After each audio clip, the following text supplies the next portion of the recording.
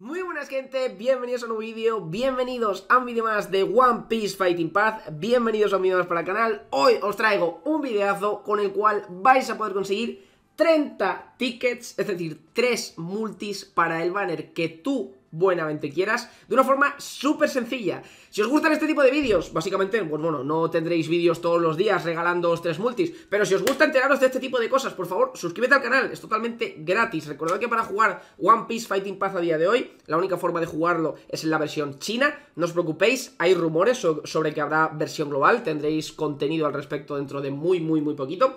Pero básicamente con el vídeo de hoy os voy a enseñar cómo conseguir estos 30 tickets y os voy a poner un poquito en contexto de por qué ha pasado esto. Al parecer ha habido un pequeño evento, en algún tipo de evento chino, no sé si ha habido algún directo o algo por el estilo, en el cual ha habido un bug con algunos códigos. Parece ser que algunos jugadores, en lugar de recibir un código el cual te estaba dando una recompensa, estaban dando recompensas mucho mayores. Me lo han estado comentando esta mañana en el directo, así que agradecería que os pasaseis también por los directos porque os enteráis de este tipo de cosas. Recordad, estamos todas las mañanas en directo excepto los domingos, y luego lunes, miércoles, viernes y domingos también por las tardes. Así que animaos a pasaros por ahí, que ahí comentamos bastantes cositas, jugamos todos juntitos y básicamente charlamos sobre nuestras vidas. Sin embargo, el vídeo de hoy va a ser muy cortito, porque esto es muy pero que muy sencillo.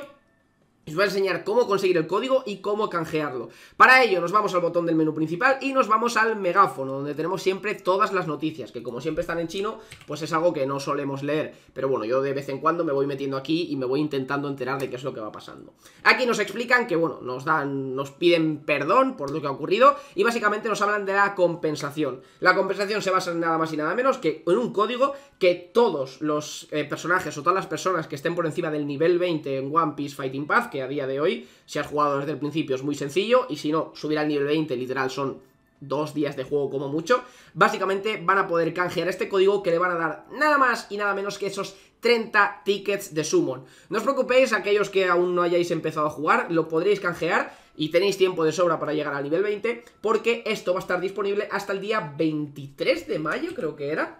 Voy a traducirlo para salir de dudas, pero juraría que era el 23 de mayo o el, o el 15 de mayo, no lo tengo del todo claro. No, correcto, el 23 de mayo. Así que tenéis tiempo de sobra, estamos ahora mismo a... ¿A qué día estamos? A día 11.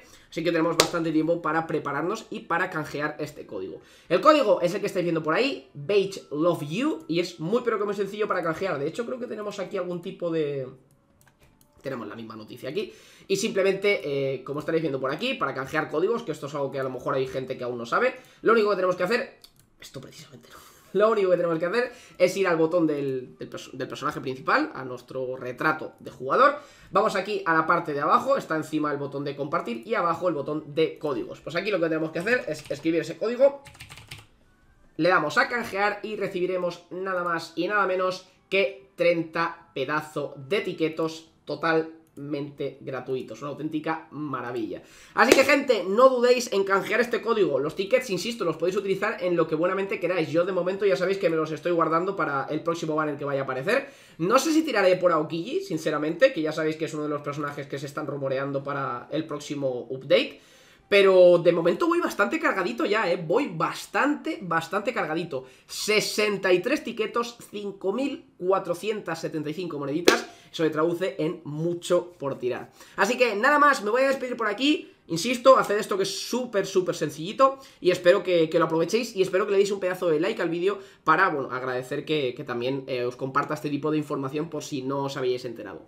Compártelo con todos tus amigos para que estén al tanto de todo esto, para que se consigan ellos también esos tres multis gratis. Y nada más, me despido por aquí. Espero que te haya gustado muchísimo el vídeo. Nos vemos en el próximo. Hasta luego.